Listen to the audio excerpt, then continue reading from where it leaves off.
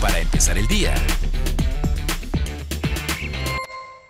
El secretario de Seguridad Pública Municipal, Jorge Alexis Suárez, dio a conocer que derivado de los operativos que se han puesto en marcha para garantizar la tranquilidad de las familias tuxlecas, en lo que va del año, suman más de 5.400 detenidos por faltas administrativas.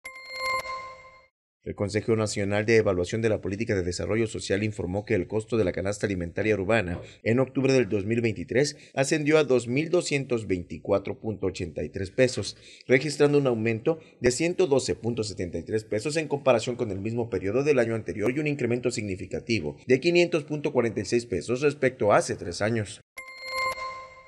La comunidad de Tunapaz, ubicada en el municipio de Chilón, fue el escenario de una disputa entre comunidades por un manantial que tuvo como saldo ocho personas golpeadas y cuatro retenidos. Y estos hechos se replicaron en las últimas horas, lo que ha generado un estado de alerta en este municipio ante la posible escalada de los hechos violentos. Hasta el momento no hay acuerdos y las autoridades no han ingresado porque la ley se rige por usos y costumbres.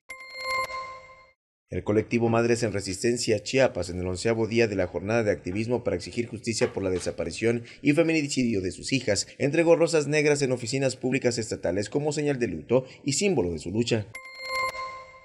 Ante la ola de violencia que persiste en los municipios de la Sierra de Chiapas, el regreso a clases de manera presencial en escuelas de nivel básico y medio superior ha sido a cuentagotas. Integrantes del Comité Estatal de la Sección 7 del Sindicato Nacional de Trabajadores de la Educación y de la Coordinadora Nacional de Trabajadores de la Educación dieron a conocer que se estima que un 60% de las escuelas han reiniciado labores, pero de manera intermitente.